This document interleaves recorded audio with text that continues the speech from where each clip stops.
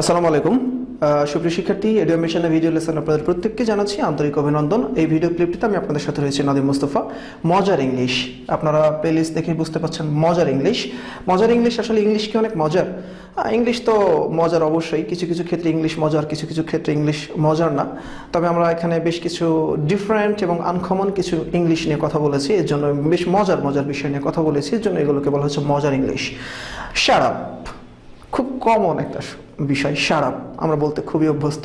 আসলে আমরা বলি শ্যাট আপ এটা আসলে শ্যাট আপ এভাবে না বলে বলা উচিত শ্যাট আপ আসলে একটু একটু মোর স্টাইলিশ ইংলিশ যারা আমরা বলতে অভ্যস্ত shut up or not to shut up আসলে এটা কোনো স্পোকেনের ক্লাস না বা এটা কোনো আপনাকে উচ্চারণ শেখানোরও ক্লাস না দ্যাটস আমি সেই দিকে যাচ্ছি না। শাট আপ আমরা বলছি শার্ট আপ এখন আমি লিখে রাখছি শাট আপ বা আমরা শাট আপ আসলে বলতে, বলাটা আমাদের উচিত।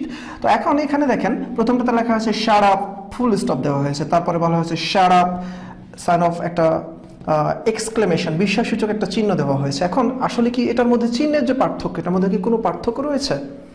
এটার মধ্যে কি কোনো পার্থক্য রয়েছে? বা এরকম যদি হয় যে এখানে ফুল স্টপ রয়েছে, তাহলে এটা কি টাইপের সেন্টেন্স আমরা হয়তো অনেকে মনে করতে পারি। এটা নিয়ে আমি অনেক সময় ক্লাসে অনেকবার কথা বলেছি, যখন আমরা ফ্রি ক্লাস বা যখন ক্লাস সুযোগ হয়, কাজের ব্যস্ততার ফাঁকে ফাঁকে যখন ক্লাস নেই যখন সুযোগ হয়, তখন দেখা গেল যে এরকম হয় যে এখানে ফুল স্টপ ইউজ করলে স্টুডেন্টদেরকে জিজ্ঞেস করলে বলে তারা যে অ্যাসাটিভ সেন্টেন্স তাহলে নিচেরটা কি? তখন এই যে চিহ্নটা যেটাকে আমরা বাংলায় বলি বিস্ময়সূচক চিহ্ন। এই যে বিস্ময়সূচক চিহ্ন, এই বিস্ময়সূচক চিহ্নটা দেখে আমরা অনেক সময় বলি এটা তো এক্সক্লেমেটরি সেন্টেন্স বা অনেকে বলে যে না, এটা আসলে ইম্পারেটিভ সেন্টেন্স যেহেতু একজনকে থামতে বলেছে, চুপ করো শারাপ মানে কি আসলে? শারাপ মানে হচ্ছে, চুপ করা। এখন কাউকে আমি বললাম জাস্ট শারাপ শারাপ যেটাই হোক, বলছি, ভালো কথা। এখন যদি ফুল স্টপ ইউজ করি, তার মানে কি? আর যদি শারাপ বলার পর আমি যদি সাইন অফ এক্সক্লেমেশন বিস্ময়সূচক চিহ্ন ব্যবহার করি, তাহলে তার মানে কি? একটু পার্থক্য আছে।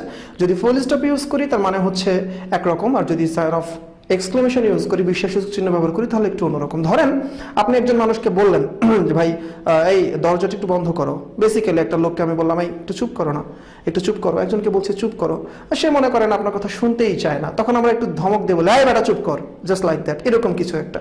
তো এখন, যখন আপনি কাউকে বলবেন শারাপ তখন কীরকম যখন আপনি একজনকে সারাপ বললেন, অর্থাৎ চুপ করো, এরপরে যদি কাউকে ধমক দিয়ে বলতে চান, একটু রেগে গিয়ে ধমক দিয়ে যদি বলতে চান, তাহলে কীভাবে বলবেন? জাস্ট সারাপ ব্র্যাকেটে ধমক, এরকম কিছু? নো এরকম কোনো কিছু না।